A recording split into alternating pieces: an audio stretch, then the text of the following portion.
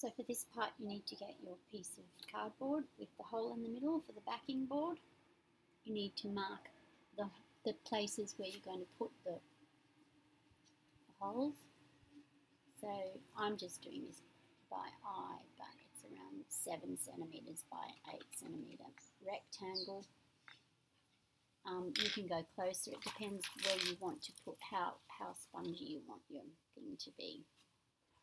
So then you're going to take a little pin like this and make a hole.